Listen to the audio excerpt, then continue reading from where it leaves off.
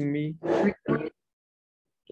Um, yeah, although it's rusty, rusty, but you don't uh, ever unlearn. So I'm feeling pretty welcomed already in uh, in Milieux uh, this week already, um, and also yesterday with uh, people from the dance department. So um, I want to talk and work with you around this idea of using machine learning in creative capacity. Um, and I want to do that through a tool that we uh, developed called Figment. Um, that's about to be open sourced. We're still working out the kinks there. Um, but the idea is that it's an uh, already freely available tool that will be more useful in the future as we add more stuff. Um, the purpose of the whole um, program that we're doing and the machine learning um, creative machine learning approach that we are taking at St. Lucas, where, where I'm from, and I'll talk a bit about that in a minute, is that we are really looking at democratizing AI for creative people. That's, that's our goal, basically. There's a whole bunch of stuff going around, and if you look on Twitter or Instagram, everything's full of creative AI, but it feels a bit, um, either it feels far off, like, okay, I can never do that, um, or everything feels a little bit the same-ish. Uh, and then there's a couple of people who are really, really into it, and we want to get to you to that level, but uh, we'll see we, if we can do that today. Uh, yeah, the um, the idea here is that I want to get you started a little bit with AI and data sets. Not everything's going to be in the presentation. This is more going to be in a general overview. I'll talk a bit at, about Figment at the end. Um, there are some tricks or tools that we can use to set up data sets, but that really depends on the, on the use case. So the planning for today is really to give you an overview now in the morning about what we can do, how the tool works, and then in the afternoon, um, take you through it. We actually, I have some um, machines set up in the cloud for you that you can use, that you're free to use. Uh, if you want to bring your own data, or if you want to work with the data that we recorded yesterday at the park, that's, that's possible as well. Um, but I feel that's really important um, about this part that it's that it's really about active participation that allows you to understand what the machine can do more than just um, coming here listening to the talk and I hopefully that's still interesting, but then figuring it out, seeing what works, seeing how your changes impact the rest of, of the system and how the output is impacted by that. That's really, really important and allows you to sort of um, actively, yeah, this, this idea of research creation, but I think this, this fits into this process of like actively doing things to discover what it's going to be about. So especially people who are interested in the, in the research behind that and, and working through that and understanding what the machine does sort of as a way of building up a conversation, that's really what we're after here. Um, first, I need to, to, take a step back and talk a little bit about uh, AI. Maybe I, before I do that, I want to talk a little bit um,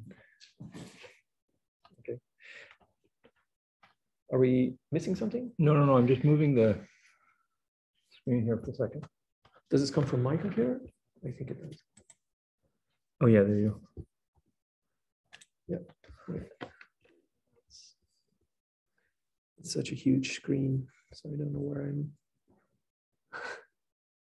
okay, we'll just leave it. yeah. Just... It's kind of weird there. Uh, oh, oh, anybody help spotting the mouse here? Oh, it's invisible, but it has an effect. Oh, really? oh, that helps. Oh, great. okay. Okay, give me one sec. Like this. We'll just minimize it there. There you go. Yeah. Sorry. There, okay. Okay. Sorry, yeah. Thanks for uh, setting that up. So before I want to talk about what AI is, maybe a little bit about my background. I have a computer science background uh, first, and then I, what I did is I studied uh, a master in graphic design at St. Lucas in Antwerp. Um, and my goal has been since after studying that is basically to combine the two. So we started doing research um, whenever that came out as sort of what we call, uh, what you call research creation, what we call artistic research. Um, I think it started out from 2004, building open source software for designers, and that gradually morphed into what we're doing now, which is about doing that same thing, but then with AI. So building these same tools, always on a focus on people who are not necessarily coders, but who are interested in the, in the technology behind it. So that's a little bit about my background. Now let's talk about what AI is. Are there people familiar with AI here in the room or on Zoom or have used it? Yeah. Okay, a little bit. No. Okay. I mean, other than knowing what it is like to talk about, but I no, no practice. I haven't Mhm. had any practice with it. Right. Okay.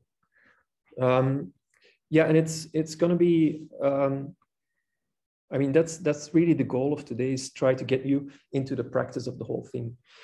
In general, the the purpose of AI is to learn the computer a mapping from A to B. That's the basic, super super basic definition that we want to do. Is basically write a function that says, okay, if I give you A or A and B, uh, I want to give C. If I give you A, B, and C, I want to make D or something. It's learning a mapping from, from one to the other.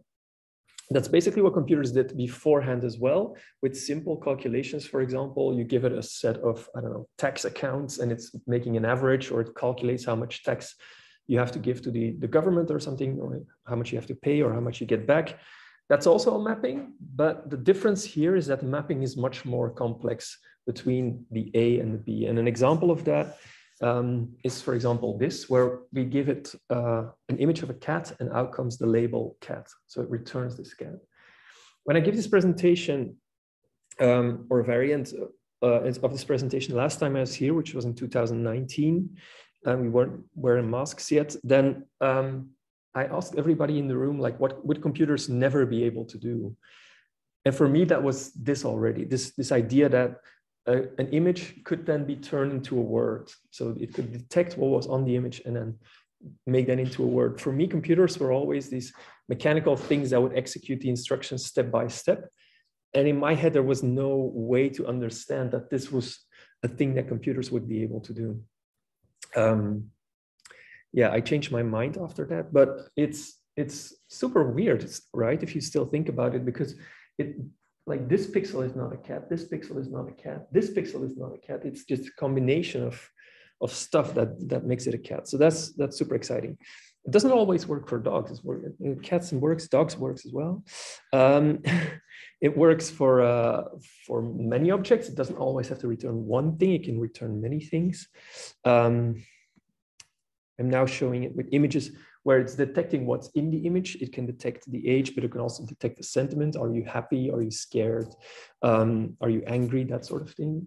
It looks kind of angry. Uh, what age are you? And of course, that works with sound as well. So if you, you take a sound in, it can detect the sound and um, produce what you've said. For us now, at this point, this all sounds very normal and we expect machines to do it and we even get a little bit angry if they don't accept if they don't do what they want. If we say okay google uh, turn the lights on it doesn't understand you you get frustrated. So we expect this to work.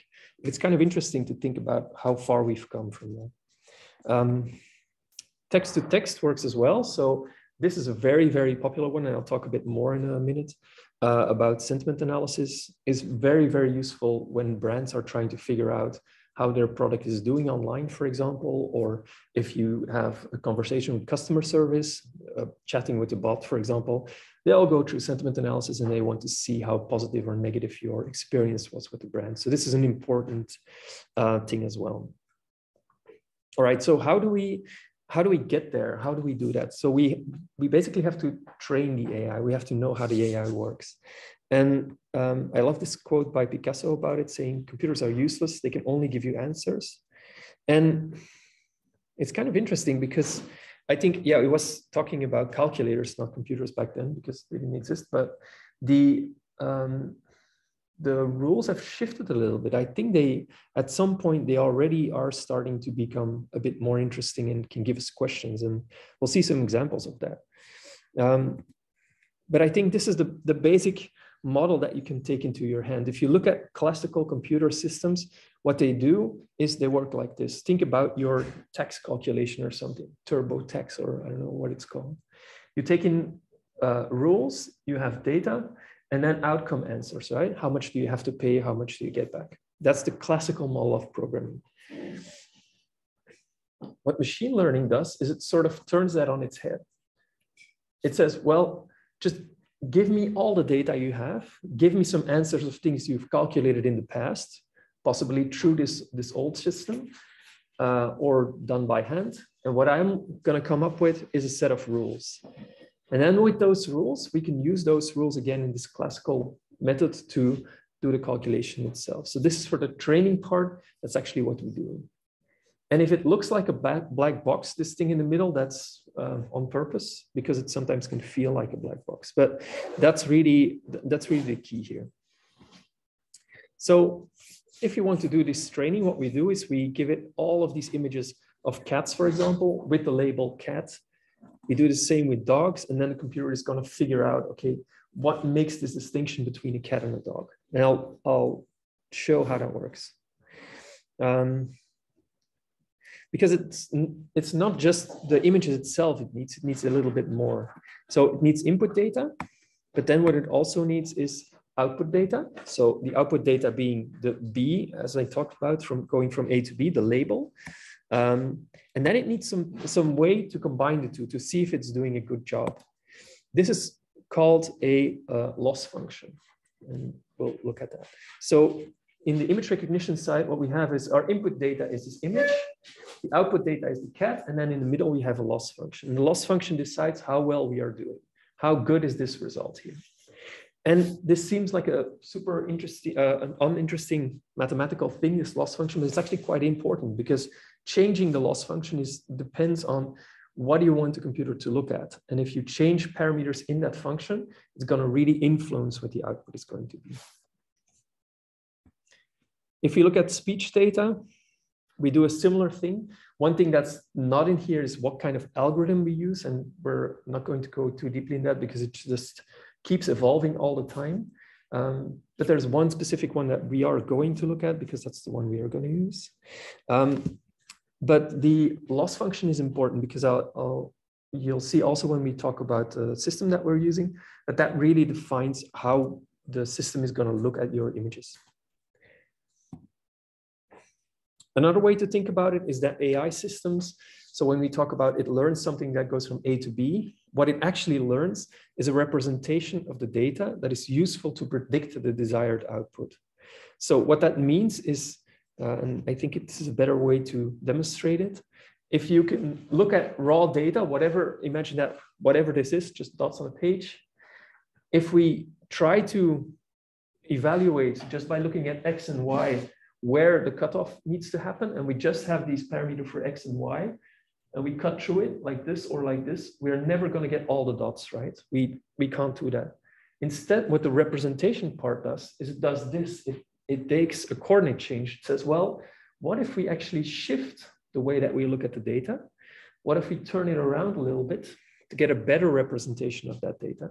And then once we have that better representation, it sort of makes sense because now we can see that all the white dots are on the plus side of the x-axis and all the black dots are on the uh, minus side of the x-axis. So having a better representation makes more sense uh, in machine learning.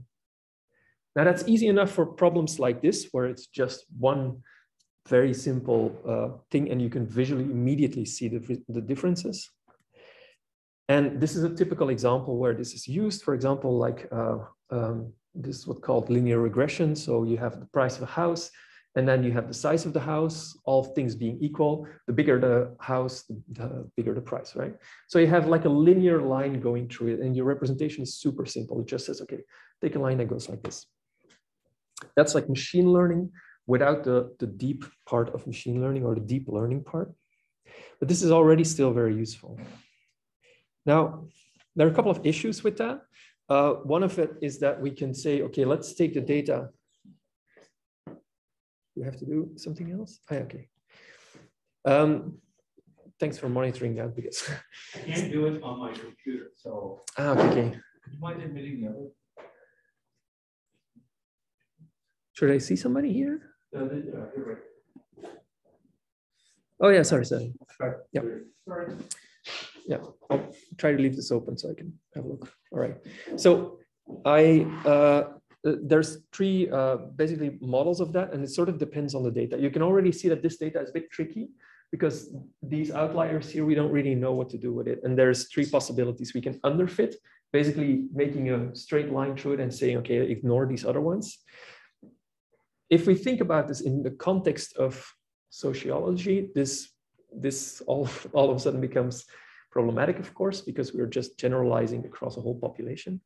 We can appropriate fit, which is sort of taking this curve. You can see that this curve is already a bit more complex than this one. So we have to have a bit more parameters or a bit more information, a bit more uh, knowledge to the system to actually generate a curve like that. And then the last one is basically what's called overfitting. So it's going so deep, it's being so detailed that we actually take out these points. The problem with that is that it doesn't generalize anymore. If we do it with data like that, and then we feed it something else, another point that's somewhere off in the distance, then it won't feed, uh, it won't look at that because it doesn't know what it works like that.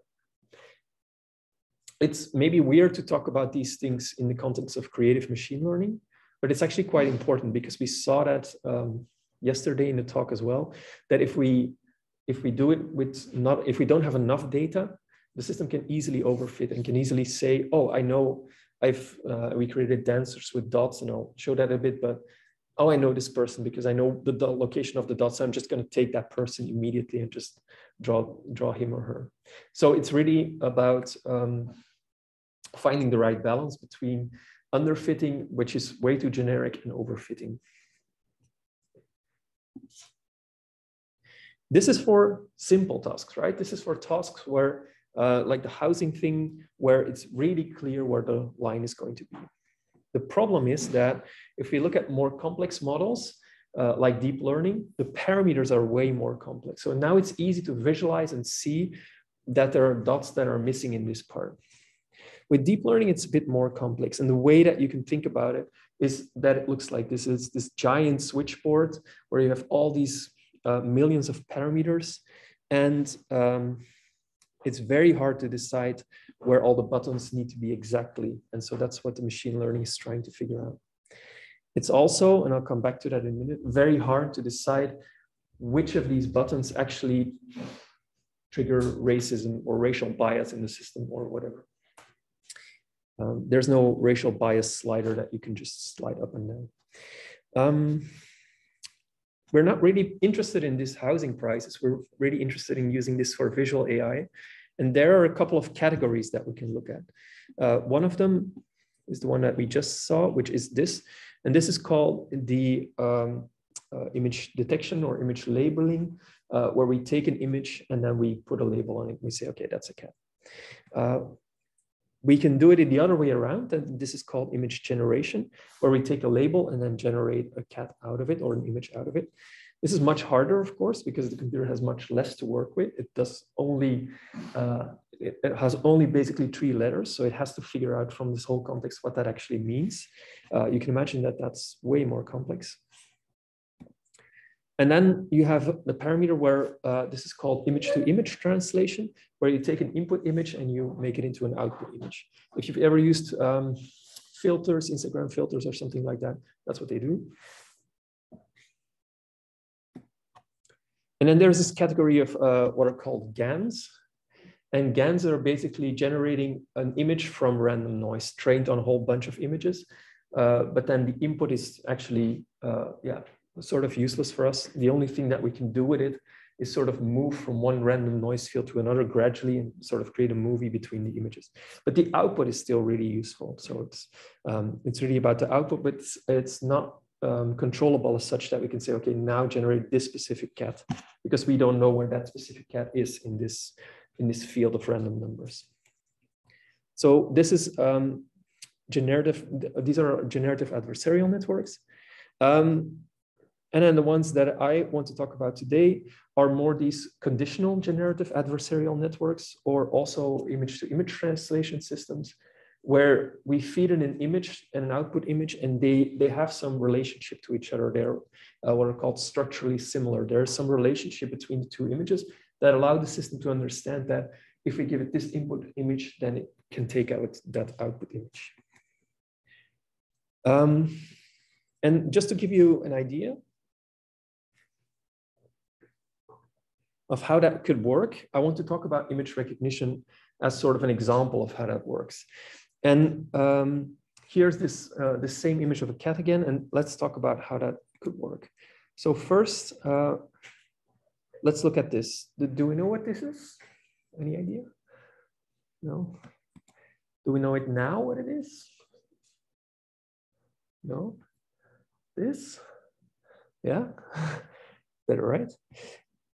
Uh, right. So this is my this is not my bike. It's an awesome bike. Um, but the you can imagine going back here. This is actually what the computer gets to see, right? It gets a representation of every value of this individual pixel. As you can imagine, going from this, looking at this little field somewhere randomly in the image, and then telling there's a bike on this image is actually quite hard because it's not there's not a bike pixel here that decides okay this if this is orange then it's an awesome bike and otherwise it's something else. Um, even looking at this is super hard and then uh, even looking at this for us makes sense but for a computer is still hard. So the rgb pixels are not really a good representation to learn from just the raw pixels. The simple models that we can uh, saw before like the housing pricing they can be used for simple answers, but for more complex networks like these, those, those don't really work. So we need systems that are a bit more complex. And that's where we get into the field of what's called deep learning. And so what deep learning does is instead of trying to do one conversion of the image, remember the conversion or transformation is like moving the axis like this or like this or scaling it up. We do a bunch of these translations before we actually get to this output image. So instead of saying, okay, we do, we take this um, orange bike and we move its pixels, or we figure out from black and white pixels or something, we do a bunch of these transformations before we get that. And here you can see a bunch of these layers, but complex networks have sometimes 16, 32, 128 layers all behind each other. And every layer is sort of focused just on a small, small bit of the transformation. Um, the first instance might just be fi figuring out some contrast values. The next layer might be able to figure out, oh, these are faces, but features of a face. And then the last thing might be, okay, these, these are actual faces, or this is the location of the face. Um, but every, every layer by itself only has a very small thing that it can do.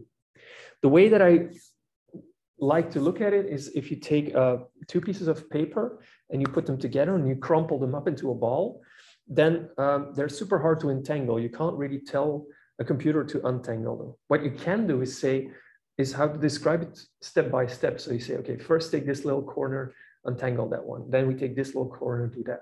Then we take this one, then we take this one. And gradually what you do is these two pieces of paper sort of come next to each other.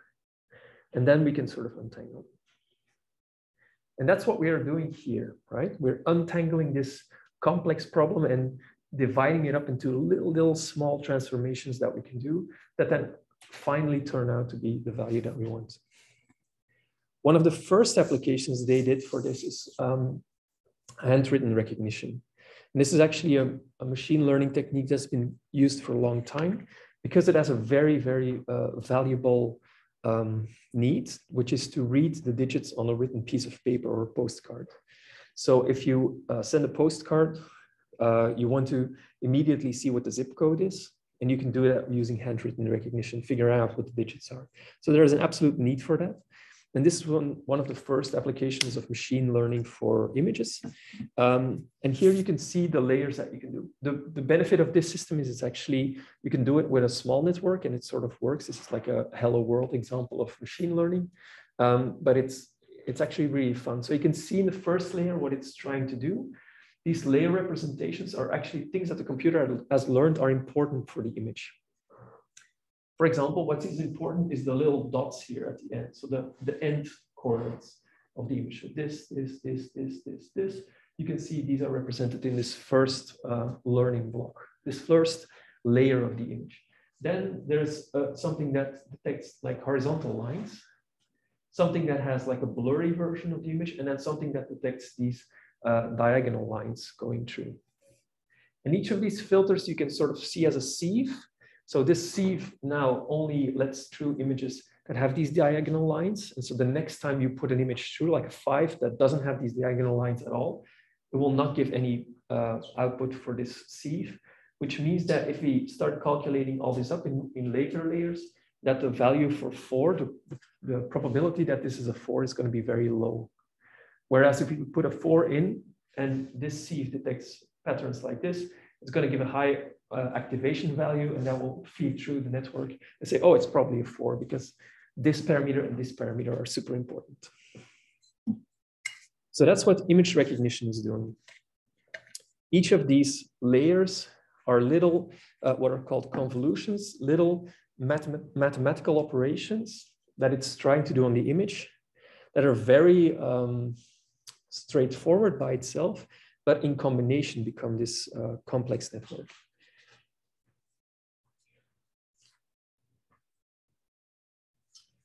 Little cat break here. Um, so the deep learning neural network consists of all of these different layers and each layer learns a different representation of that image. The idea is that as we get farther along, the representations are no longer about, or the channels of this learning are no longer the R and G and B channels, but are actually channels of learning, channels of more complex information about the object itself. It's still kind of hard to understand what exactly the computer is learning, especially at higher levels, but there's definitely something going on. So a first step would be something like this, taking back to the cat. Uh, this is the convolution step. And basically you see it as a, like a weird Photoshop filter. This is actually something you can do in Photoshop called the kernel um, operation that sort of says, okay, if I look at my own pixel and I look at the surrounding pixels, which ones are more important? That's what it's doing.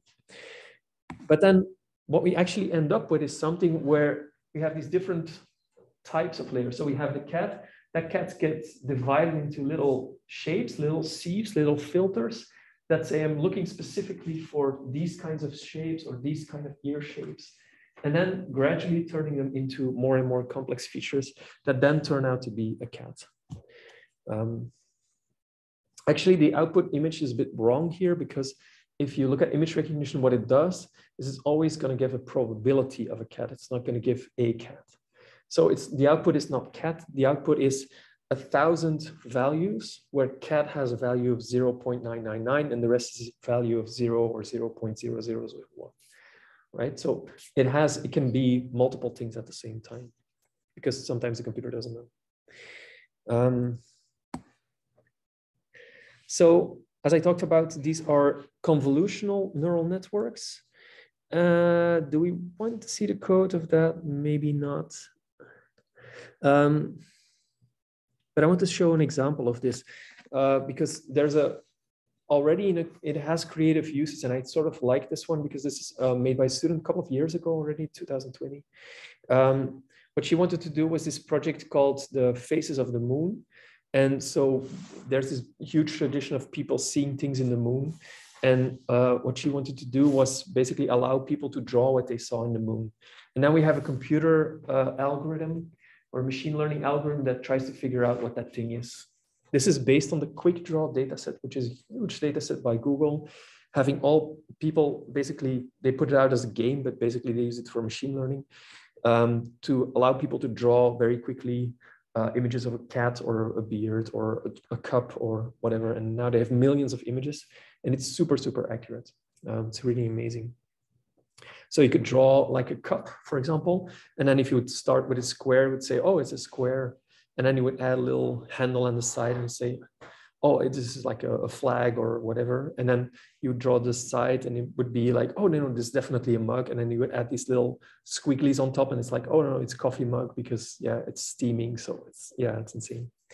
Um, and another project that I really like because you could think of image recognition as okay, but why? What's the creative use? I, I want something that generates images. I don't want something that that already um, that just outputs a word. But um, this is a project that I really like called Pareidolia um, by Driessens and Verstappen, which was made in 2019. And what they did is they they get these weird faces, and you would think of these as these weird generated faces, but th these are not actually generated. Instead, what they do is they have this microphone set on these grains of sand. And whenever the, micro, the microscopes are in the microphone, whenever the microscope uh, runs through every grain of sand, and it does machine learning detection of faces. And whenever it finds a match for a face, it's gonna give one of these faces. It's gonna take a picture and then put that in this uh, ongoing uh, ongoing list gallery of all the faces faces it has encountered.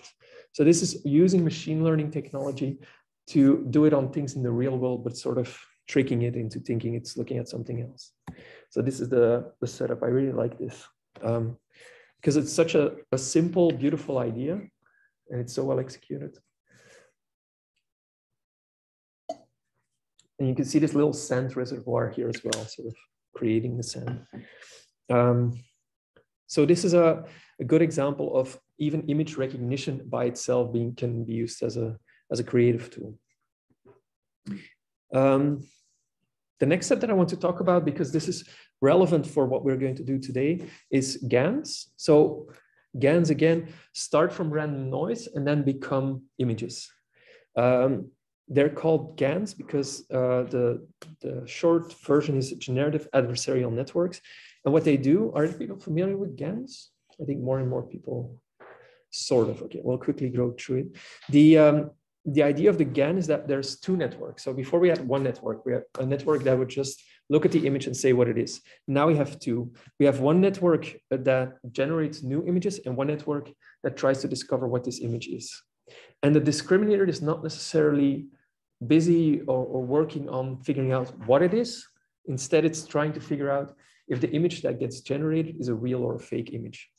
So if the image is, um, uh, so the discriminator gets two sorts of images, either images that it has that, that are real, like images from real faces, real photographs, and it gets images from the generator who's trying to do its job to generate something that looks real enough to fool the discriminator. I think, I don't know. Um,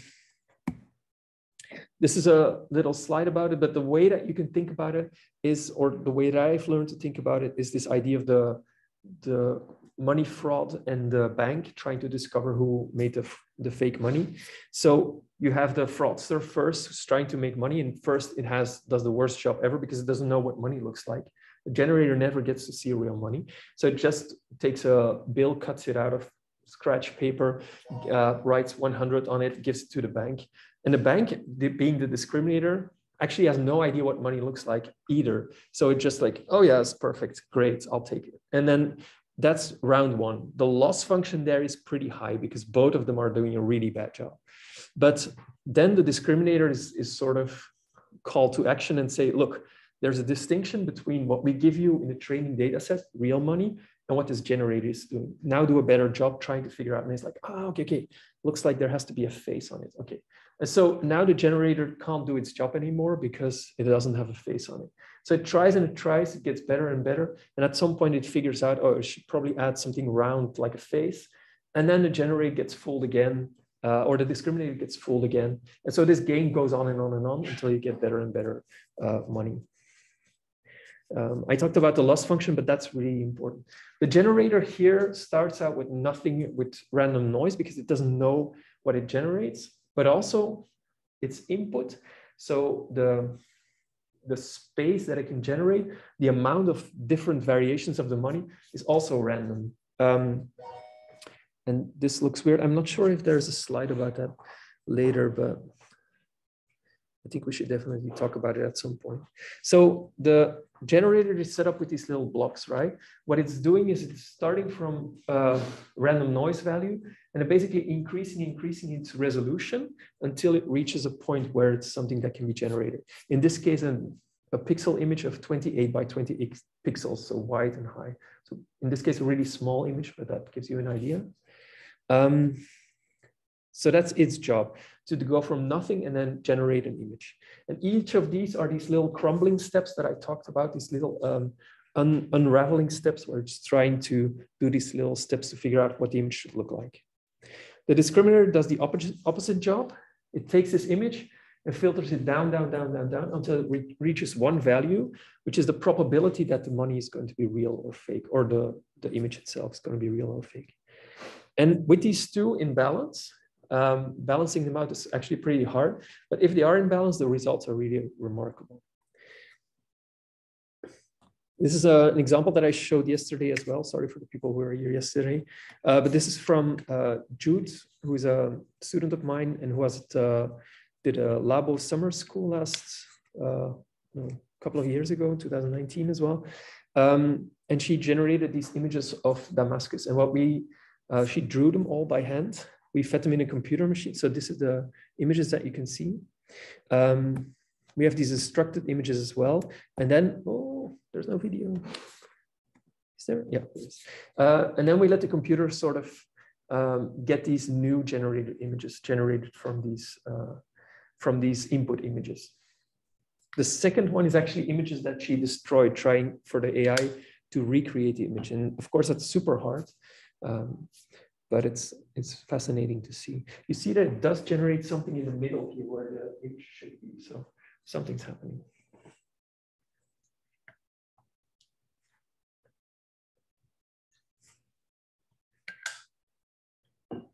So it's kind of nice, but the, you could wonder, okay, why, why is it sort of morphing between these different states, right? You often see this in machine learning examples as well. There's this phase, but then it becomes this other phase, and then uh, what's going on?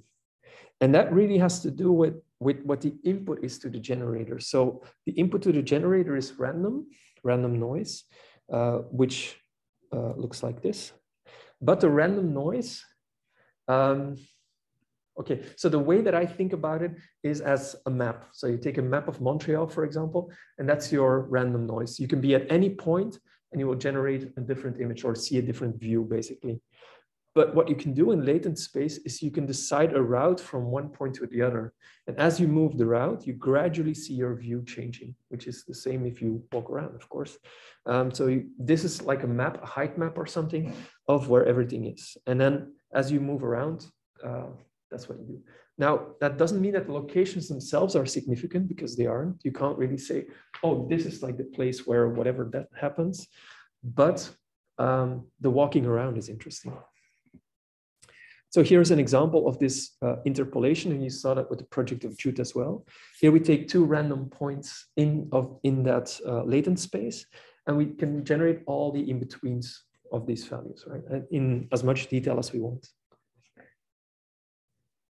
Um, so the the uh, this part, what we do here is this is no longer trained. This is once we have the model and we have the latent space, we can actually go really fast over these and generate new ones uh, from scratch. So the training is slow, but the inference is fast depending on how big your model is. Some of them are uh, almost in real time. Um, and in this case, the input is this latent space value, this 100 dimensional space. Um, and it's also no more random. So even though it looks random, but if we ask for the same point, it's always going to give us the same value. So that's no longer random. Everything is mapped on a specific point, like, okay, it's in this street, for example. And then you can take that output as a movie, traverse through this space, make it interactive, connect it to OSC so that if you move your hand or move a, a sensor, basically changes something in that field. Um, so you can map your position in physical space to a point in latent space. So there's all kinds of opportunities that you can do once you've trained these uh, GANs. Um, a nice example of that is this work from Mario Klingemann called Memories of Passerby, also from 2019, the golden ages of AI. um, but his, it's also, I really like the setup. Uh, he had these faces um, generated, which are part of uh, from WikiArt, which is this huge database of uh, artwork. Um, and a part, uh, I think, Flickr, and then sort of combining them, and it would gradually shift through latent space, changing these uh, these faces. And there's a was a little comfy chair you could sit there and look at uh, how the images gradually shifted. The little box here is actually his supercomputer machine that's actually generating these images. So he needed a place to store it, and they made this nice little cupboard here. So I really like that. Um, this project uh, is by Helena Sarin, who's done uh, a couple of interesting works, uh, still also with GANs, feeding her own material inside of the GAN, um, and then and then creating these prints out of them. And then this one we we looked at uh, yesterday as well, the uh, work from Scott Eaton, the body soup. Um, he has a bunch of them. He's a photographer, but he's also uh, doing live drawing, so has a lot of new drawing images, and and he uses that in his work as well. And like this, he also created this sort of brush where you can paint with it with this fleshy like uh, substance. Um, and then this is work by Anna Ridler, who created this tulips work, again, a bit older, already super old in machine learning times. Uh, but what's interesting here, and also what I what I like about this, the, the whole setup here is that it's her taking pictures of, I think, 10,000 tulips by hand, all cut, all on a black background, and then taking all these nice pictures and then feeding them into the GAN, which gives very different results than saying, okay, I'm just going to go to Flickr, search for flower, download all of them, and then just see what happens because there's going to be a very, very different uh, factor. So this, I think, is really nice because she just does everything by hand. And the initial pictures was already an exhibition by itself, and then the AI uh, was another one. Uh, this is actually linked to the um, tulip mania of the 1630s, where tulips all of a sudden in the Netherlands became like super, super high uh, and sort of linked to the Bitcoin mania and Ethereum mania that, that uh, went on as well. Um, so that's GANs. Uh, there's one variation on that that we don't uh, are not going to talk about now, but this one is an interesting approach where we say, okay, now we take a word and we move from that word to an image, and this is um, text to image generation, obviously, and there are a couple of uh, approaches to it. I'm first going to show you the um, earliest approach that I saw, which was ATTN-GAN or attention GAN, I think it means, uh, because it was so, so promising as, a, as an approach. Again, they tried to learn it in reverse. So they, they gave it an image first, they gave it text, and they tried to figure out, okay, which parts of the text are important and do your thing and whatever. Um, it's not perfect, I would say. A beautiful woman with long hair and a smiling face. Um, I don't, I don't know. I can kind of see it, maybe. Yeah, uh, a robot that wants to kill all human. Yeah, uh, Mark Zuckerberg. Uh, that one is obvious, but he's in the metaverse. I think it's not not available. What's interesting, so attention GAN was trained on this data set called COCO, which is um, a common object in context and is a very famous data set where people would take images and then label them. So the idea was that, oh, we have all these labels, we have all these images, so we can train that together and that, that becomes something interesting. Um, yeah, as you can see, the results are not awesome. But what was interesting, I think, is that if we turn the process around, that means I, I can't read this. If I give to you this image without the description, you wouldn't know what it is. But actually the image recognition algorithms would because they were trained on the same data set. So an image recognition algorithm, given this image, would say, oh, woman, long hair, smile. what? So the, the AI, it's like the two levels of AI talking to each other and sort of discovering a coded language where they say, look, look, look, this really looks like a woman. And the other one's like, yeah, of course, yeah, sure, I can see that. So because they're trained both on the same data set, they have discovered these patterns that we don't actually see, but they uh, they do. So they can keep talking to each other. It's really really amazing to me that that works the other way around as well. Um, so obviously this could use some improvement, and some improvement came in the form of DALL-E, which came out uh, one or two years ago now, I think. And DALL-E, I think for me at least, changed the field of uh, again thinking about what co computers never do, this became this, this uh, next frontier. So DALL-E uses a system called CLIP, and we'll talk about that in a bit. But uh, what it's trying to do is basically mapping words and images at the same location. So if you think about this latent space that we talked about again, it's basically saying, okay, this image and this text piece belong together. Um, and by doing that, it could sort of generate these new images. They had really, because they fed it on the whole internet, they really had a problem figuring out, okay, is the AI now learning it from by heart or and replicating what it already knows, or is it generating new images? So they have this really weird prompt saying an illustration of a baby daikon uh, radish in a tutu walking a dog. They're like, okay, there's probably not so many images of that on the internet. Um, but it does that, it generates that, and you can change the prompt and it will generate these images, which is completely insane as I said, I, I, um, I teach graphic design. So sometimes I teach bachelor students and we give these exercises to people. We say, uh, okay, make an armchair in the shape of an avocado.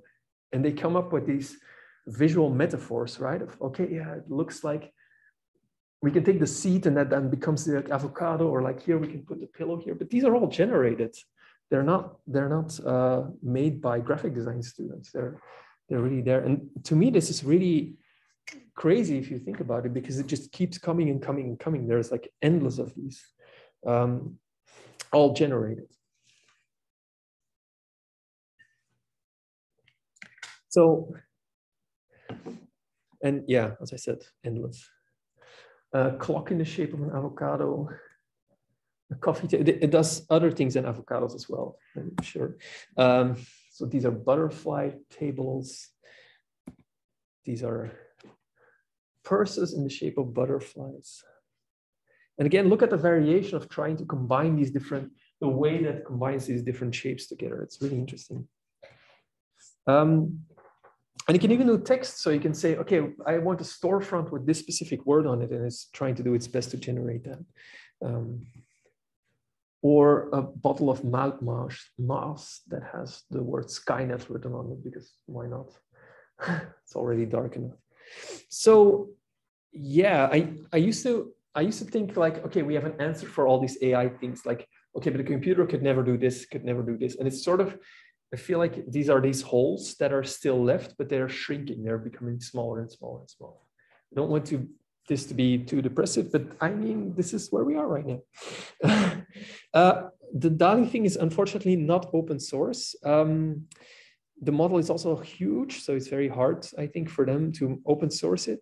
But the there are some variations on them, and I think those are also interesting to play around with. Uh, Deep Daze is one of them, but there are now uh, more different ones. All of them use actually this uh, one part of the system, which is this clip system, mapping words and images together on the same space that is available. And that is, that is a really important one. But then if you look at the output, it's actually quite nice, I think. Uh, these are still a little bit abstract, but I kind of like this. So mist over green hills, shattered plates on the glass, on the grass, sorry. And this one you can look up and you can you can try yourself if you want. Cosmic love and attention. Uh, a time traveler in the crowd. Yeah, so I really like this. Um, so that's that's uh, text to image generation, and then there's this this kind of thing, which uh, I would call style transfer, where it takes the image and then turns that into a style. I'm not going to talk too much about it. There's like hundreds of filters for that. You probably are all bored with them anyway. Um, the way that they use is a system called uh, CycleGAN. Is they, yeah, like here, for example, um, to do this training, but I, I'm not going to go too much in detail, but they exist. Uh, what I am going to talk about, because I think this is the most interesting approach right now, also within the scale of the things that we can manage, is this, which is uh, called conditional image generation. And the idea of conditional image generation is that we do this mapping between two images and then it can generate new images. So for example, we can make a drawing of a handbag and then it can do make a handbag, or we can draw the facades of a building and then it can draw a photorealistic version of a building. Or we can draw what a street should look like and it can do a photorealistic version of that street. Um, or this one, which is uh. NVIDIA now has made this into its own software that you can download and use, uh, where you can draw with different materials and every material has a meaning. So this is like, I can draw with rock or I can draw with uh, water and then it becomes this, um, this painting, this photorealistic painting. Um, and it's actually quite amazing because as you can see, the reflections of the rock are also there in the water. I have a question about this. So um, how many how many images does uh, does the does the AI have to contain in order to make the like that's a very realistic rendering what like so how many images does it take before it's able to do that as much as possible like, Zuckerman um, you know, or beautiful woman with long hair. Yeah. That's like that was a that was such a fail Uh-huh. compared as compared with this. So what's the difference between these two situations? Yeah, okay, so the model is a bit different here. What is, you need a lot of images, but most importantly, you need segmented, segmented images. You need a way to say, to take existing images and then divide them up into the parts that are the rock, X's and O's that are- diagram you're talking about. Yeah, yeah, but you have to label the whole the existing image. So it's not so much about okay, let's download Flickr and take all. Let's look for tropical island and download everything. Mhm. It's also that the labeling needs to be done, otherwise it can't work. Okay, So so what's the difference between this and like the woman with long, uh, long hair, the beautiful smiling woman or whatever? Like the, what's the difference between this being so successful mhm. in, in an accurate representation and the other example that's being so strange and like un- unrealistic, I guess? Yeah, so it's kind of hard to tell because as I, as you saw with the DALL-E thing, it is actually possible to do it. But I think most of it has to do with the kind of context you give it or the kind of input you give it. It has to do with the algorithm. In this case, this is also an image to image algorithm, which in general works better. But it's also about um, yeah, the kind of context that it needs. The, the reason why attention GAN failed and DALL-E doesn't is because the context that's also inside of that, the, the knowledge it has of the world and of the images of the world is way, way bigger in the DALL-E example than in the attention GAN example. It's a bit unfair to compare it with this, but because what this does is it, these two images are what's what are called structurally similar. So you can see that there's a mapping here. You draw this and you expect that. Whereas with text, there's no structural mapping. One is words and the other one is an image. So the problem also is much Yeah, yeah. harder, becomes Okay. much harder. Okay. But still, it's impressive that and, and controllable, which is interesting. Yeah. So would the HGN again for, um, is that the sort of thing where you could feed it a- an image of Mark Zuckerberg or whatever, and it would interpret it correctly? I mean, I know it's not generating text, but you you were saying earlier that uh, what we're seeing is in some sense the internal language of these. Yeah. you know, No, actually, you could do it with any kind of thing that was also trained on the same data set. Any kind of image recognition algorithm that was trained on the same data set, you could just feed in the image and it would output Mark Zuckerberg. Right, so it- it's almost giving us more insight into uh, the internal representation. Yes. That we are creating through this. Yeah. I wouldn't, may, maybe not insight, but yeah, some some kind of yeah peek into into the black box. I would say. Yeah. No, Thank you, of course. Oh, I just had a question. You said that it was trained on the entire internet, and I'm wondering how the like the training data set or the labeling is done in that kind of context. Is it picking up on metadata that's already in, like that's already on the internet, or is there? Uh, no, a lot of it is handwork. And- Coco ST, for example, is a lot of lot of work. So people just labeling stuff? Yeah. Wow. Yeah, yeah. It's mostly humans. Like I- if you look at the bottom of machine learning, it's all humans doing it. mostly underpaid people. We just had a great talk by Alex Hanna on the whole history of the ImageNet, which is one of the kind of foundational training data sets and some great research just about like, yeah, a lot of that also relies on, for example, circulating curve and, and there's lots of issues. Yep. Yeah, how, how this comes about. Um, Which is uh, another side to the AI part of it. Yeah. Um, And if anybody's interested, Alex Hanna's talk is recorded online. Uh, If you want to talk about that. one. Yeah. Uh, do you mind just admitting? uh, Yes. Yeah, and because it's so much work, people tend to use the same data sets over and over because they're not going to build them from scratch every time. Um, that's kind of a problem, I think, if you're working with AI creatively, or it can be a problem because you're relying on what everybody else is using. And I sort of like the fact that you can do your own thing within AI and and and condition the networks with the conditioning that you want instead of taking the same biases that everybody has because it's it's trained that way. Um, yeah, this is also an example of conditional image generation going from uh, an image of, uh, in this case, a mushroom to a 3D mesh of this mushroom. Again, it's already a bit older, so right now the results are even better.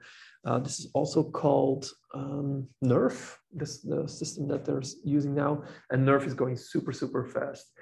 Uh, just giving it a couple of 3D images and then it can figure out a whole 3D mesh. So you just take a couple of images and then it becomes a 3D, fully 3D mesh of the object itself. It's really insane. Um, I also want to briefly talk about audio AI because there is a bunch of stuff already going on in that space as well.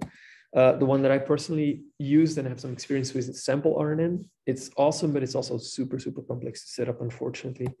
The way that it's set up or uh, what it's trying to do and the difference with audio versus image is that audio always needs a memory it needs a way to figure out what, what came before uh, to figure out what needs to come after. So it needs to have some rhythm. And what Sample RNN has done smartly is to divide that problem up into different parts, different tiers. So the first tier is concerned with just the next sample, the next level of volume that it has to create. Uh, but that's super, super low level. If you just look at the previous audio volume and now you have to decide what the next volume is, there's not much enough information that you can use.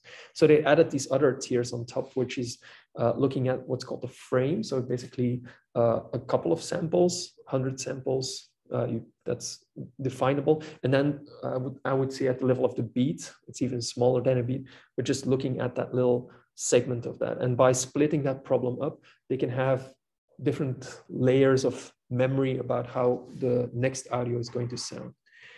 Um, I hope this works. Oh, gee.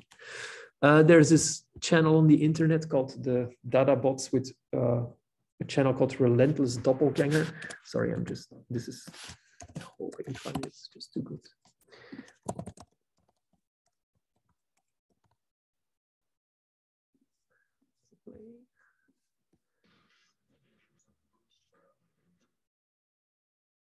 Yeah, this is what it sounds like.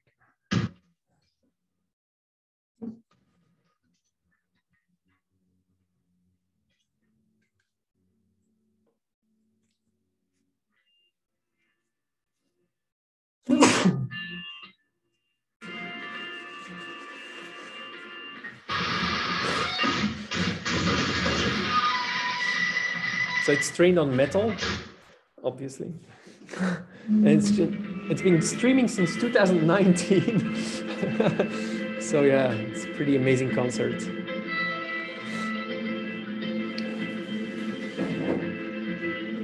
Okay. I can keep listening to this forever. And we will. Um, uh, so yeah, that's that's a really interesting project trained on sample RNN. As you can see, again, with the attention GAN as well, the quality is so-so. Um, so OpenAI, again, uh, came out with a Jukebox, which actually turns out to be much better results. And what Jukebox does is it generates something in the style of something. And I think I can show that. Um, some brief samples. Uh, oh wait, the screen's on the other side. There it is.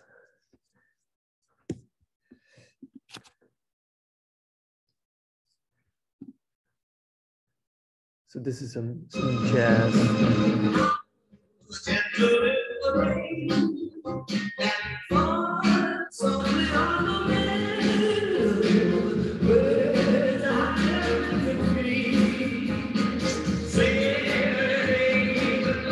This is all fake, right? This is even the text itself is is just invented. So the lyrics are invented as well, uh, and it does all kinds of genres the style of Bob Marley.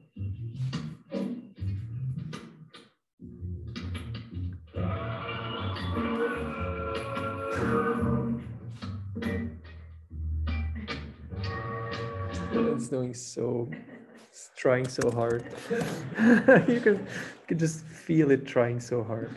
Um, actually tried working with it. It's kind of funny because um, we wanted to use it for a project and then I, uh, it works well for the 12, the first 12 seconds or so. You have to give it a little bit of seed phrase, like a head start. And then it always went into country and Western. So whatever I gave it is always like, no, no, no, let's add a banjo. And it's like, no, no, please just leave it alone. But it's all like,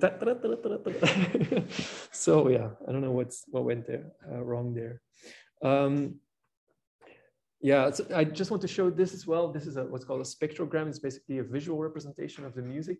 But some people have also trained um, machine learning algorithms, visual machine learning algorithms to generate audio. So moving the audio to a spectrogram like this, and I say, oh, now I have a picture, and now the AI can generate another picture, turn that back into audio, and then play that audio again. So a lot of these algorithms actually feed off of each other. Um, could you, can you do that with movement? So if you're like with the data points that either are already Yep. here or that you create, then you can, can that be converted to this kind of uh, to this group of data? Yeah, if you can turn it into an image, yeah, you can definitely do that. Uh, in movement, what I would expect, and we can show that in Figment as well, is that you can have sort of a trail of the movement itself, Okay. um, and then feed that trail and sort of let the AI decide, okay, what's the next frame now? If Okay. if I give you these three frames now, what the next frame should be? Yeah. Not sure how well it will work, but it's it's an interesting experiment. Um, then let's. Are you all okay still? Yeah. Uh, let's talk about text AI. And the thing you just mentioned is actually interesting because it talks about this idea of memory, which is super important. The most easy way to think of uh, this or the easiest implementation are recurrent neural networks. The idea is that they have a little bit of memory. You see this little feedback loop there, and that's the memory of the cell itself, remembering what it has seen. So a recurrent neural network, we predict be- between brackets the next character or word, and that's how it generates new text. So we ask it to, okay, what do you think comes next? And then we ask it, and okay, what do you think now comes next? If this is the input, and it's sort of like a sliding window sliding over the text, and we give it a bit, a bit more of context or a bit less of context, depending on the algorithm. And then it can sort of generate these new things. So we can create a poet or, or writer with that. Uh, this is already a project by Andrej Karpathy, who's now head of AI at Tesla, I think. Um, and he wrote this about RNNs, and RNNs are, I mean, they're super, super basic, but they're amazing. The, the, the thing that come out of it, they're really slow, but um, the, the results are really crazy, actually.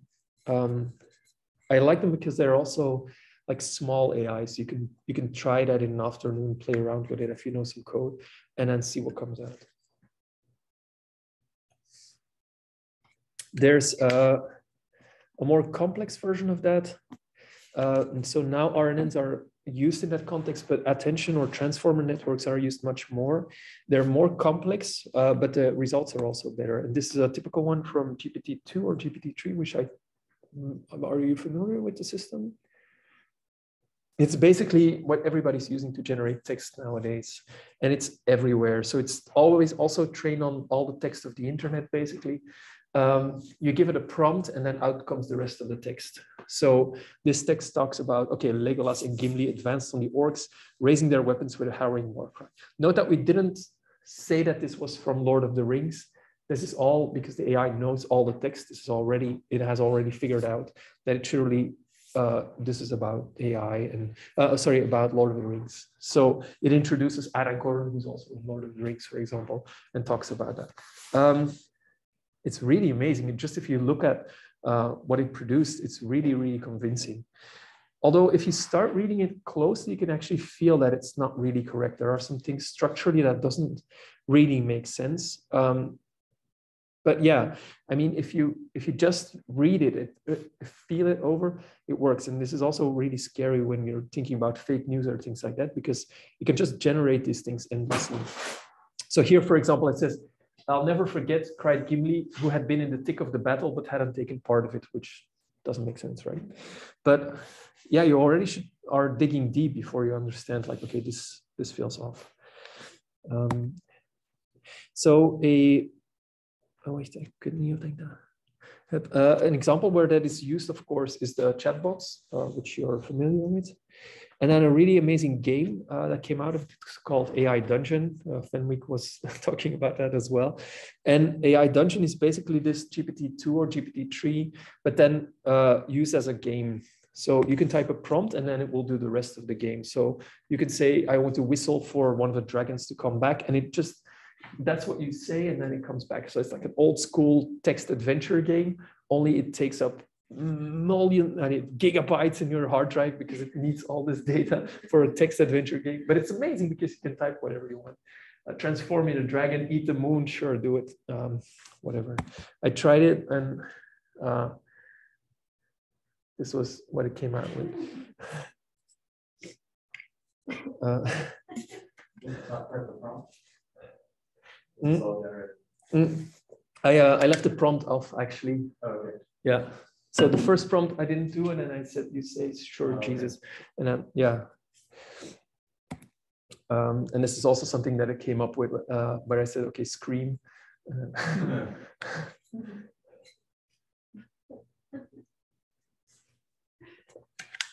so uh, for me uh, as well, this was a, a, completely amazing thing, and I hope you ever get a chance to play with it. They completely nerfed the game now because, of course, everybody was using it for their weird fantasies. But um, it's it's just amazing to have a game where you can do anything you want, basically within within your own imagination. That's really really cool. Um, and then that's used, of course, in a lot of applications where you wouldn't actually think this would work, but it does because it has trained on all the text of the internet. That also means all the uh, text of all the code, all the HTML pages, for example. So here is a very simple example where you can say, I want a button that looks like a watermelon, and it generates HTML and CSS code for you that looks like a watermelon.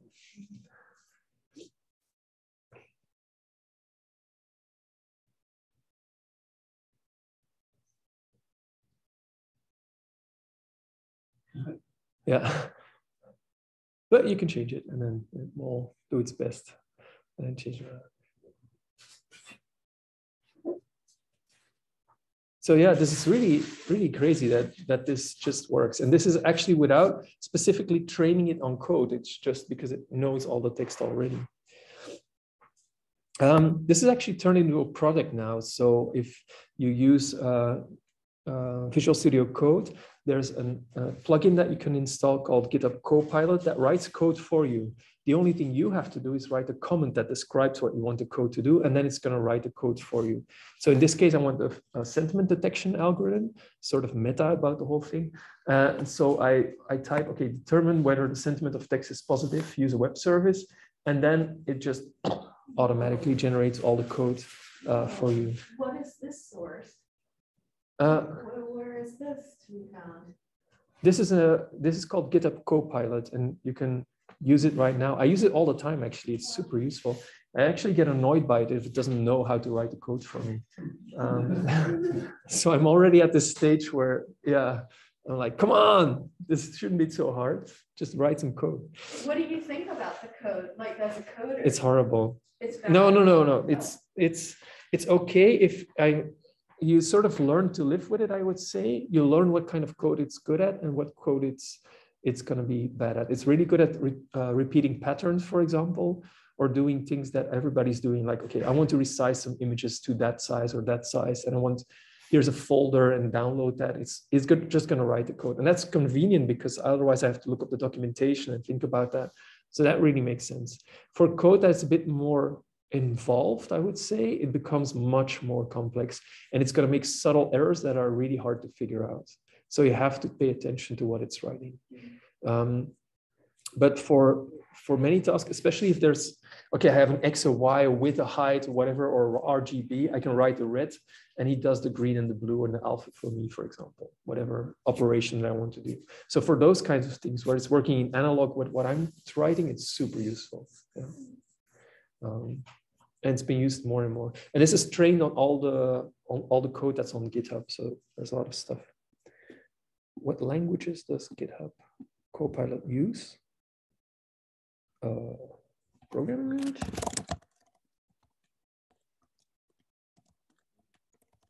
Yeah, you can do all. Um, yeah, yeah, I can hear you. What? It's crazy. So you can ask it to to write in Python and it will do Yeah. that? Yeah, so yeah, so the example actually has a bunch of these tabs here uh, where it, it works in Python really well, it works in JavaScript, it works in basically any kind of coding language, CSS, HTML. Yeah, yeah.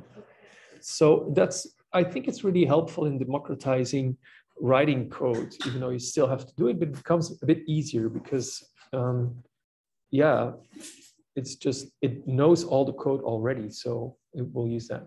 It, that also means that it's going to make the same mistakes that human coders does and it does that. Um, but yeah still useful. So yeah i show that. And then of course that brings me to the ethical parts of ai um, because you can imagine that it's going so so quickly and so far that we really have to take a step back and think about okay what does it mean for ais to uh, to do all these things. What is it learning? One of the main things that comes up here is algorithmic bias, which is basically our bias, but then turned into an algorithm. Um, and the way that you can think of this is the, the algorithm has learned things from the real world, but the real world is also not so clean and nice. And it's just taking that and putting that in the algorithm. The problem is that it becomes really hard to um, take out the parts. And remember that big switchboard that I showed you, this mixer panel. It becomes really hard to say, okay, this is the this is a slider that controls that because it's just taking over our own biases. Um, that's used, of course, in things like predictive policing, where they decide, okay, where is crime going to happen next? Um, and the AI figures that out, looking at the past data. So what happens is that you get a loop of more police going to the neighborhoods where crime typically happens, thereby discovering more crime, because of course people are uh, always going to do things if people, if uh, police are watching carefully, uh, you're jaywalking or whatever. And because they're not looking at the other neighborhoods, because they're all focusing on these neighborhoods where supposedly a lot of crime is happening, this again confirms their bias that that's the neighborhood that they should be really active in, sort of reinforcing that idea. Um, with face analysis, there's much uh, opportunities. Uh, yeah, would you be able to comment on Timnit Gebru getting fired or big tech leading these ideas? I, I comment a little bit about this. I don't want to specifically go into Timnit Gebru's case for Google because I'm not so familiar with it. We should probably ask her. But you should, I don't know who's asking the question, but that's a great machine agency question and certainly something that we're, you know, we've talked about in our kind of policy around AI. So Yep. just keep following machine agency. Yeah. Did you hear Fenwick? So he says just keep following machine agencies. I agree. Yeah. Uh, because I think it's really, yeah, that's really a policy issue. Um, yeah. It says thank you. You're not wrong, whoever. Yeah. Um, so yeah, this is it's not it's not uh, just a theoretical thing. This is actually a company that exists called Faception that just figures out from the face itself whether you're a high IQ academic researcher, professional poker player, or terrorist, and you can just get that. People actually integrate that into job interviews, which are now mostly remote through Zoom. So they would add this to their to the webcam feed of you, and they would do this real-time analysis to figure out if you're a terrorist or you're actually being able to be hired. Um, not sure how legal that is, but it's it's it's out there, and the potential for abuse is is very very uh, valid. Um, this does go a little bit into Joy Buolamwini, who together with Timnit Gebru did this research for Google and then got fired. Um, but the the talk she gave, and there's a really good video about that called Coded Bias as well on Netflix that really goes into detail about that that whole um, aspect of classifying in machine learning algorithms and how they like uh, react better to lighter males than darker males or lighter females than darker females because of the training data set, because of the input we give it, because of how the data is biased. Um, the way that I like to do this is by showing an actual example and showing how this is not necessarily starting from an evil intent. And I think that's really important. If you try to do that just from scratch using the normal approach, nothing fancy, nothing that says, oh, I'm just going to insert some racism here, then you end up with that problem. And that's that's really what I wanted to show you, because for me, that was really a real way to look at that. Um, so here's an example from a blog post from 2017 called How to Make a Racist AI Without Really Trying. Um, where Robin Speer actually designed a sentiment classifier and show you. And I want to walk you through it. So a sentiment classifier, what it does is it goes, uh, it takes a piece of sentence and says if that's positive or negative. So that's very useful and for a lot of context. What you want to do first is get some text.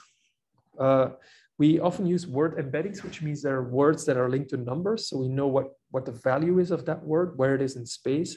For example, man and woman would be somewhere in a similar region and dog and cat would be similar in another region. So it's basically converting that word to a number. Then we have to have training and test data set with some idea of, okay, what are some negative and positively sentiment words? Um, and then we need to train this classifier to recognize if a word is positive or negative based on this word embedding. So a word here is that a positive word, a word here is that a negative word. Um, and then what we can do is compute these sentiment scores, looking at all of these words together and computing a score, right? And then profit, I don't know, sell it to a company. So I'm going to go over all the parts. So words embeddings, what are they? They're basically uh, words mapped to points in space. Again, think of Montreal as our map here. The word is, every word is somewhere on the street. What's not important is the word it's, or the position of the word itself, but its relative coordination to something else.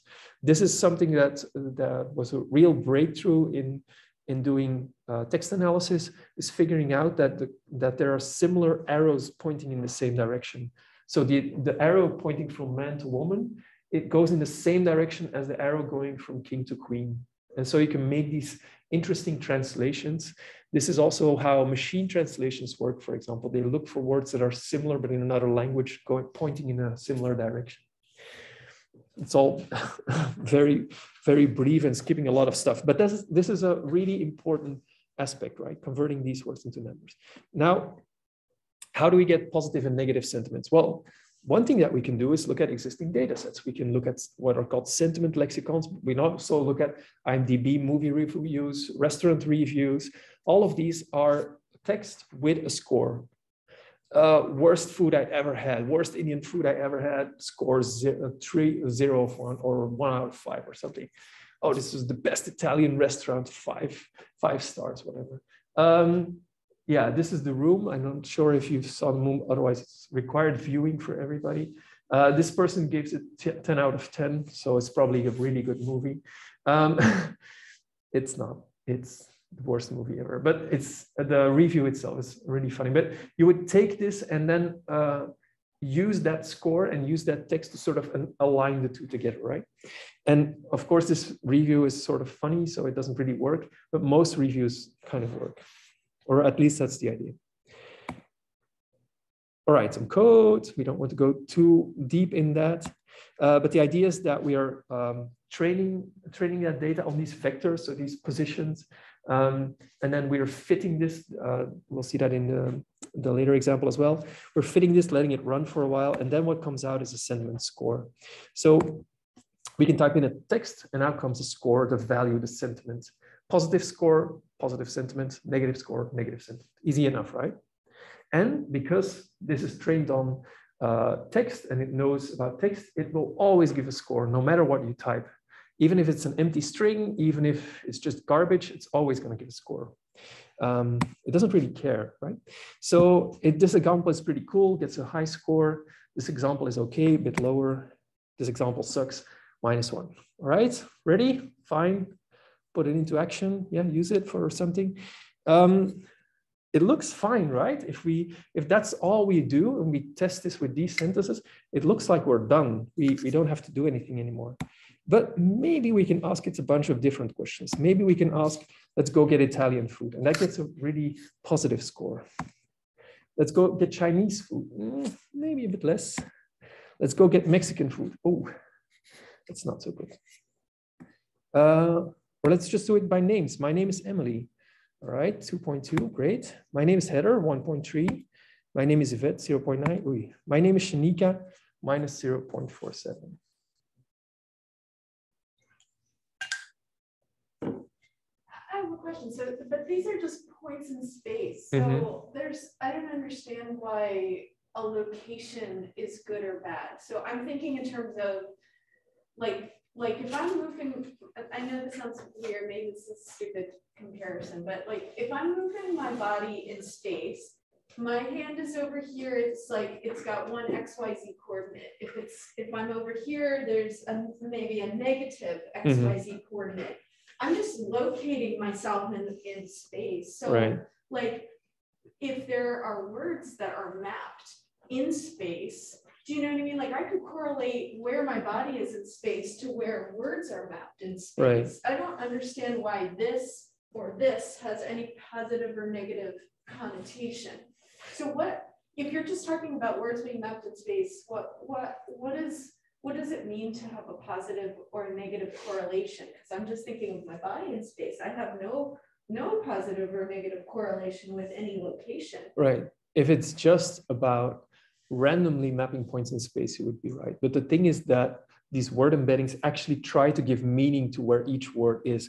They try to give a location to each word. They try to decide by using, again, some kind of obviously biased system that some words belong together and other words don't belong together. So it's like in a way, it's a negative. Uh, it's like a fallacy or a logical fallacy to suggest a sentiment for word locations. Uh, that's what I'm. That's what I'm not getting because it's like if this were about analyzing movement, there's a neutrality to like whether my body is here or Yep. here. True. And for word locations in terms of machine learning, it's like I, I just think that there seems to be a, a, a flawed logical leap to assign sentiment to Text. the location of text when Yeah, you're right, but it's it's it's tricky because it sort of works and people feel like it sort of works, so people are going to use it. And it has an obvious benefit that it can now be automated. Automated. So if you again do this with customer service thing, you can mm-hmm. decide what customers probably need more help because the words they're using sound negative. So you want somebody like a supervisor coming in or something, or looking at that review again because maybe there wasn't the kind of review that we're looking for. So there's all these kinds of different uses for it, why, why people wanted to do it. This is not just because it's a random thing to do. People actually need this. There's, there's a, a valid use for it. Actually, I do have an example for that. Um, this is where it was used for. Google has this idea of what's called a cloud talent solution, where you can give it a CV letter, a cover letter, and then it's going to figure out that sentiment score and decide if this person needs to be hired or not, or get in for an interview. Now, but remember, this works on any score. Any interview is always, any letter is always going to give you a, a score back. Even if the letter itself, it turns out that only the name is important, you wouldn't know because you just get all these different cover letters, you put them in the system, and out comes a score. You hire some people, you don't hire some other people, and everything seems to be well. It's only when you start asking these questions, like, okay, what if we take out the name, or maybe change the name to something else? Does the score change? Should the score change? Do we actually don't want to hire Shaniquas, but do we do all we want to hire our Emilys? I don't know. Um, and is it only about the name? Maybe it's about something else maybe it's about certain hobbies that people play where we know oh if people play lacrosse that's uh, they come from a very different background than uh, if they play i don't know uh, hockey or some other sport or tennis or basketball for example. So it's not just only about the name it's about all of these words in space that all have a meaning uh, and that are mapped to our the way that our society works as well. Yeah. Is the way to think about the negative weighting that like so these like kind of these um, uh, more like kind of marginalized communities that are ending up in they're ending up in territories around other negative words like is that kind of the way to think about it that they have a close spatial relations because of the bias data or, or Well, like there's there are two data sets, right? There's one is the word to vec that converts the word into space. That doesn't necessarily have a positive or negative sentiment. The other one is the movie reviews, and in the movie reviews, what we see is often depictions of people uh, where you have this typical biased representation, stereotypical people of how Chinese people are portrayed, how Mexican people are portrayed in movies, and so that filters through the whole system. So uh, that that's the reason why these two are aligned. Yeah, it's not just the word to vec itself, which already has some maybe problematic clustering, but then it's adding another layer on top that that then gives uh, a specific score to each word in, in space, and then that combination can become really problematic. Yeah. Um, and it's really hard to fix because how do you, and I talked with Fenwick about it, how do you take it out? We're not neutral. We can't say, okay, there's a neutral version of this that then is the right for the right way to do it, right? There's, uh, or do we do we do that beforehand? Do we try to uh, remove the bias afterwards? Do we clean it up? So it's it's super tricky. Again, we all we are left with is this big black box with all these sliders. So we can't really control that that way. And this is not a theoretical problem. This is something that Google, for example, did. They they had this problem where they get brown, uh, typical African American people, and they were often labeled as gorilla. So if you searched in your photos for gorilla, you would actually see your black friends there, and they're like obviously not good. And they fixed it by just removing the label gorilla. So you couldn't search for gorilla anymore. It would just be fixed, like check mark, done. Yeah. I mean, it's the biggest, one of the biggest companies in the world, and they can't figure it out. So it's not an easy, easy problem. I think this is one of, one of the conversations presently, a lot of why we're focused, like a lot of my work is focused on AI policy, because there's questions like, quite centrally, are these things that can be resolved themselves, and when they're applied in high-risk applications, uh, is that appropriate? And so, in talking, you know, there's a whole issue with the kind of stack here, and I think Connector Brew would talk quite actively about what it means to be black in AI and the barriers. And Alex Hanna resigned the day before coming to Concordia to talk through just the kind of institutional racism they encountered. Uh, she encountered at an organization like Google. So there's questions about who's building the AI, and then what are the ways of, of, of deploying it, and then a final question of what are the actual fixes? And I think to me, this is what's really significant. As a regulatory tool, the fix is to remove it. There's no actual way of recalibrating the AI system to accommodate for this bias. It just has to be cut. And that's seen across a number of these kind of automated systems, including, say, Google's ad tech, where it often exits markets. So, for example, you can't advertise for um, Oxycontin or methadone treatment centers because of the level of fraudulent ads. And so they just exited. So there's something here that we're getting at, which is part of this kind of conversation. I think part of the possibilities we're seeing here is that there's a very instrumental application of AI. And part of what we're trying to open up, and I think what's really fantastic with Frederik's talk is that we're trying to think of what are the possibilities that are not simply trying to think about AI in these very applied and, and, and applications that, regardless of the technology, are largely based on automating and, and uh, and, and, trying to kind of cut costs on service delivery, particularly for marginalized populations, which is mm -hmm. something that's the work of uh, um, uh, uh, Virginia Eubanks book. So i really good about that. So, all, but I'll say these are you know great great questions and something that's being worked through in the field presently. You know, it's something that like you know raise a number of kind of issues uh, about the feasibility of AI in certain use cases. Mm -hmm. Yeah, because this doesn't feel like a fix, right? It feels like giving up, basically. Yeah.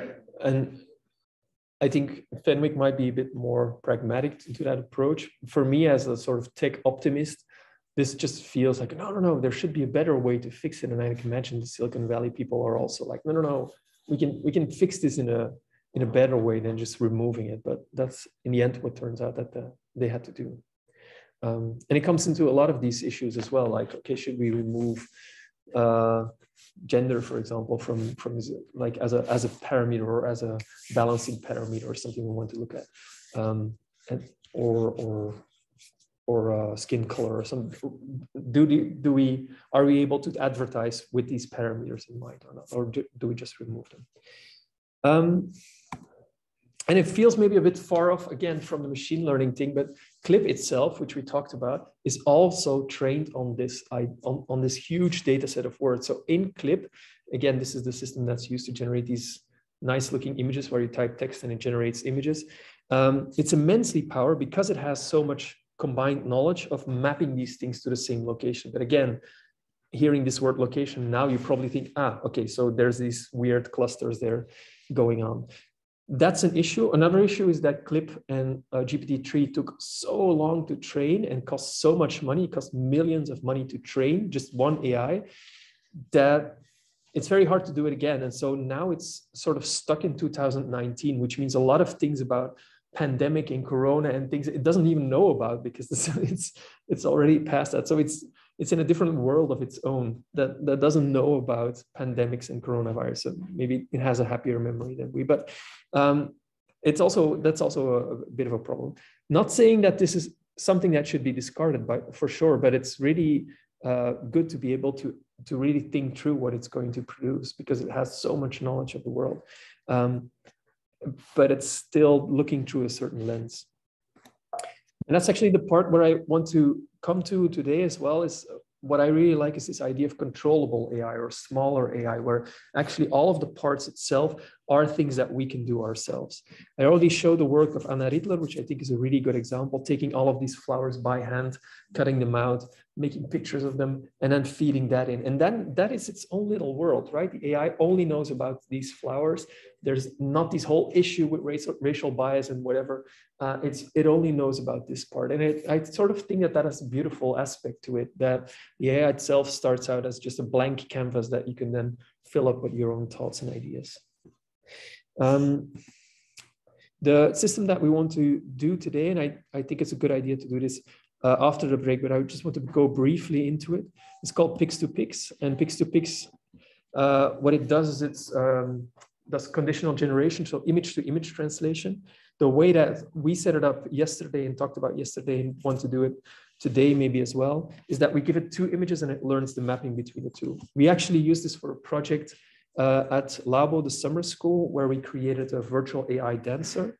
Um, I think I have a small clip of, oh no, that comes later. So it's trained on a body and then the points of that body in, in space.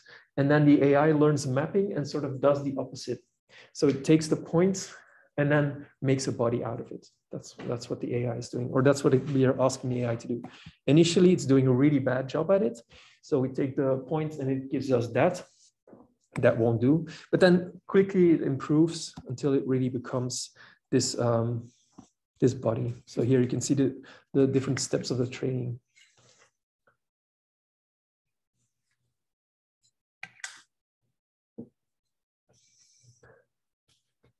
Then a short clip of the of the AI of the AI dancer dancing.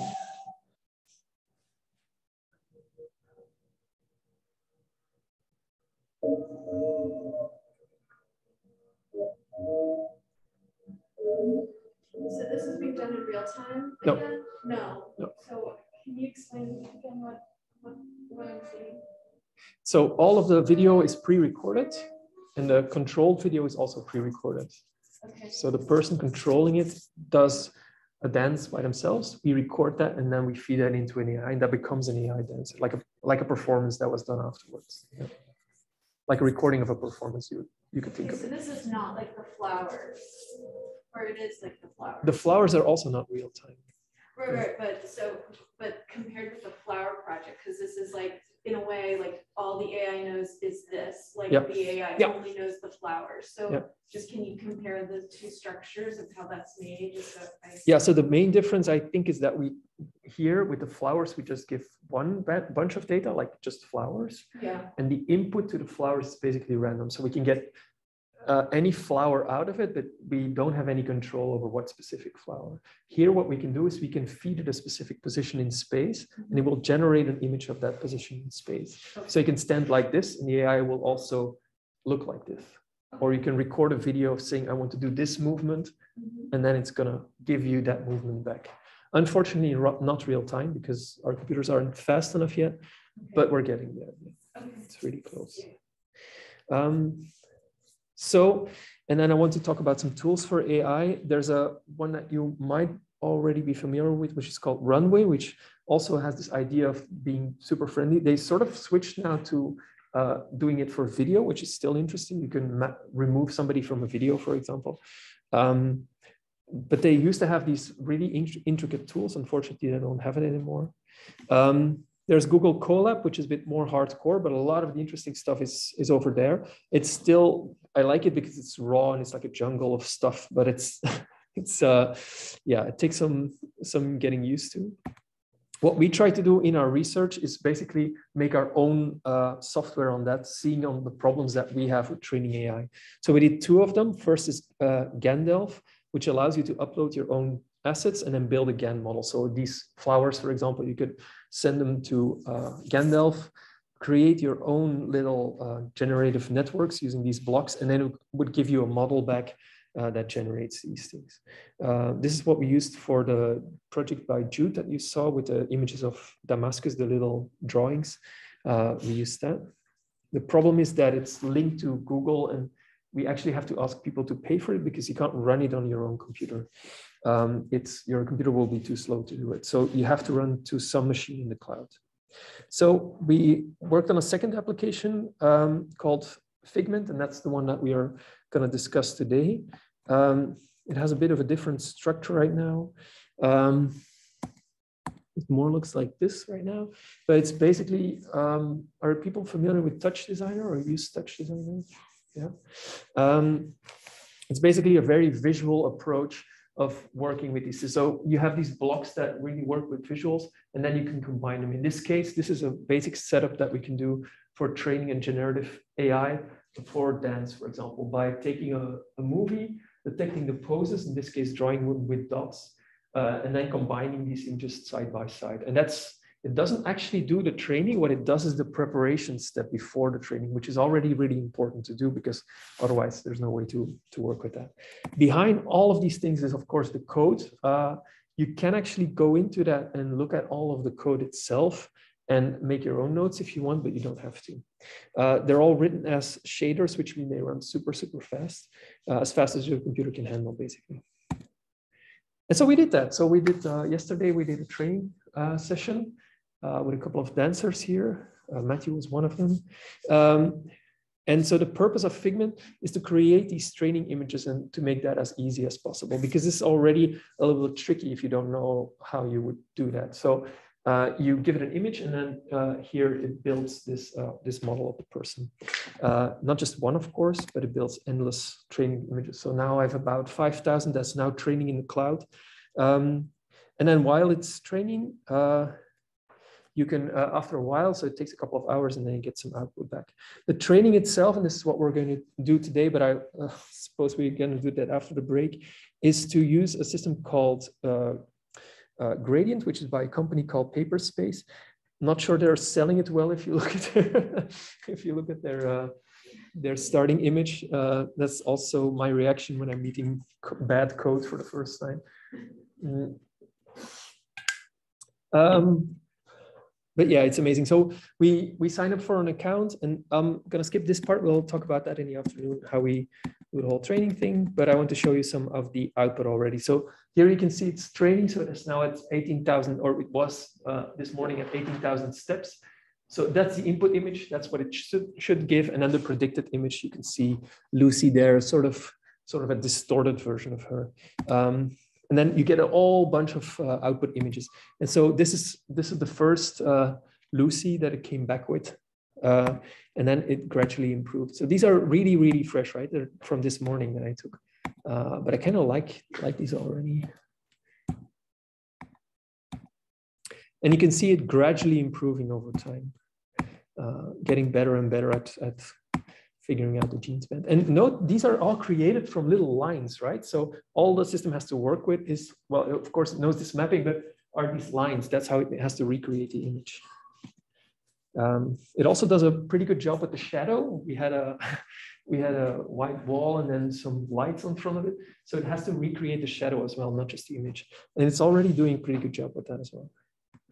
So um, if you want to uh, join me this afternoon, uh, I'll walk you through the whole process from getting the data. We can use the, the, the data from the dancers, or we can use uh, different data if you want. We can also talk about that, how to get that from Pinterest or whatever. Um, I'll have some machines ready for you to set up in the cloud. And then what we can do basically at the end is uh, let it run, see how far we can get. And then we can also take new data and then produce a movie out of that. Um, this is an example of an AI that was created in I think about two hours uh, that I did together with a, uh, um, somebody from St. Lucas uh, called Maureen, and this is a an AI that's that's basically uh, based on the face mesh. So it's not the body, but the, the mesh of the face. And you can hear her talking about uh, being an AI artist. So I'll, I'll show that clip and then I'm done for now. Can you describe your appearance? I like to picture who I'm talking to. I can't possibly have an appearance.